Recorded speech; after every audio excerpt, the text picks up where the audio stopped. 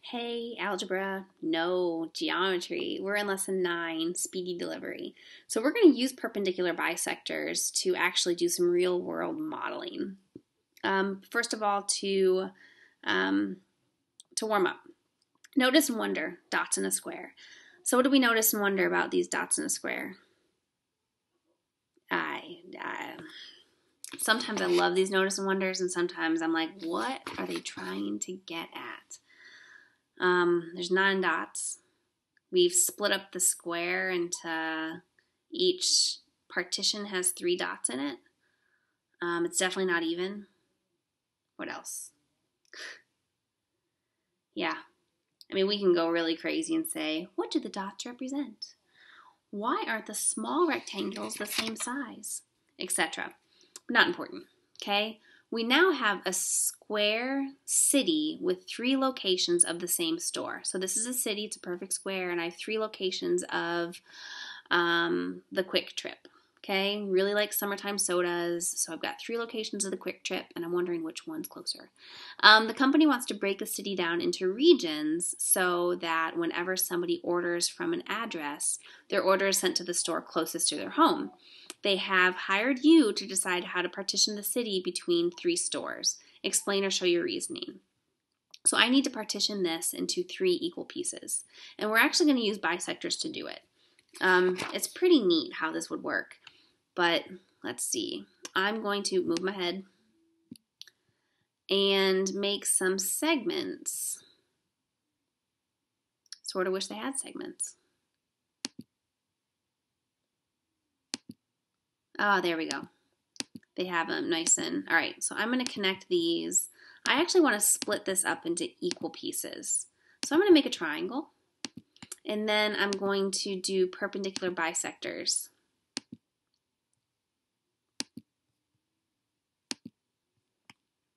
Okay, that's pretty cool.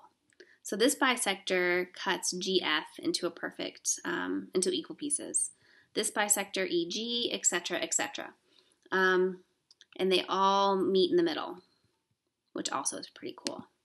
Now that I know the intersection point is at a point, I can actually make that intersection. Isn't that cool? Um, I'm actually going to intersect a few other things so that I can use them. I'm going to intersect the perpendicular bisector with the side that it is closest to. Yep. So this perpendicular bisector, I'm intersecting that side.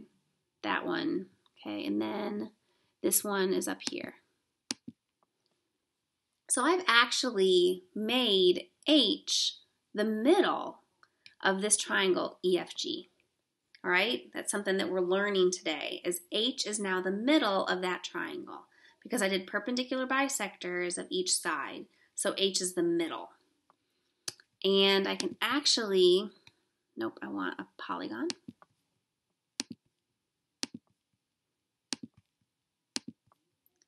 That area. Um, pretty sure, oh, I always do it backwards.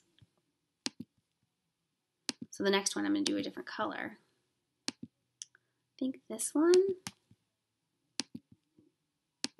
Let's make that one that color. Keep going.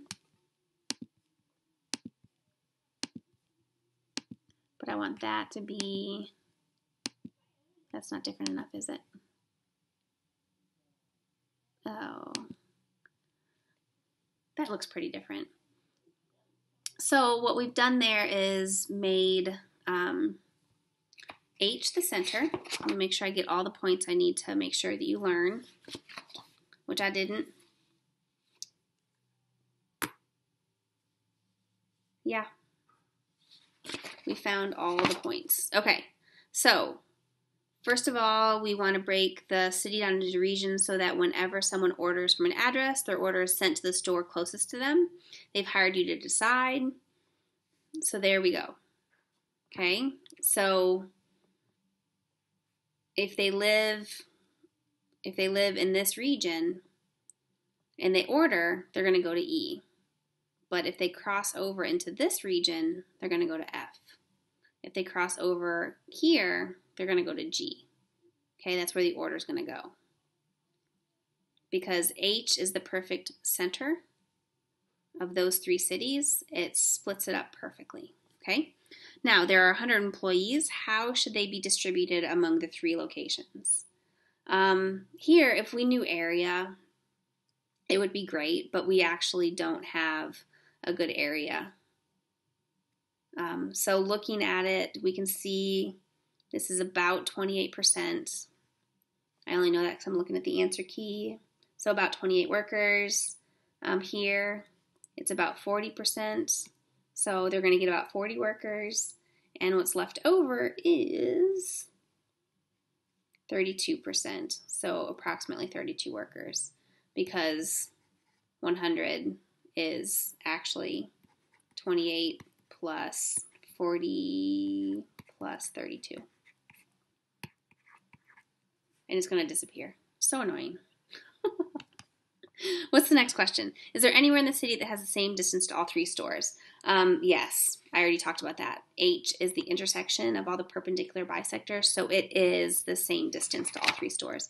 If I measured from here to here, there to there, and there to there, all those line segments are the same measurement. Okay?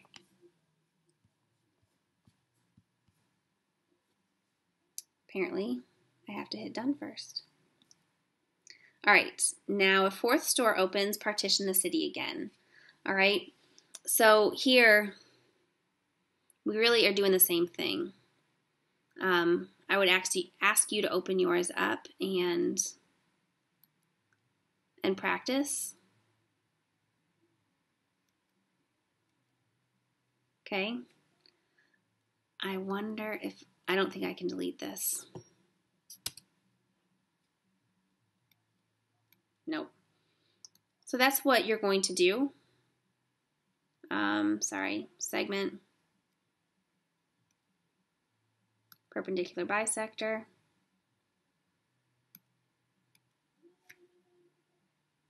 Then I can actually do the intersection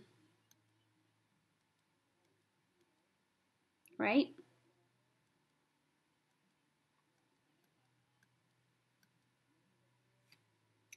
Um, and we can keep going.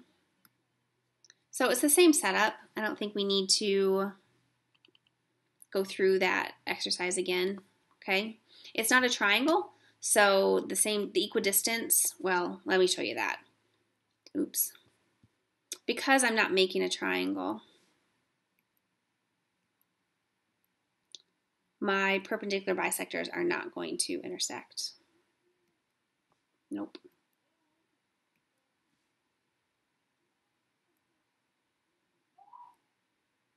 Okay, so that's a little just hard. I, that was a bummer to me. Like, it's a great exercise. Um, that's this one. Well, that's a bummer. I moved. I zoomed out.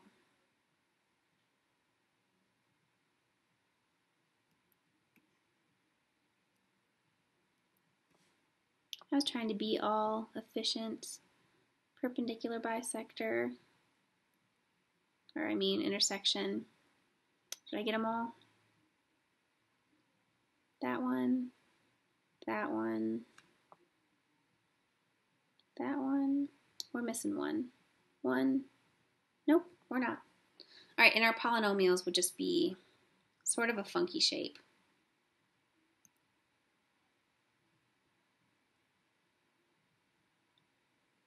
yeah.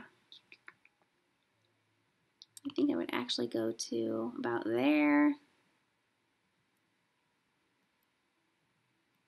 Okay, and I can keep on building polynomials to split that into equal pieces.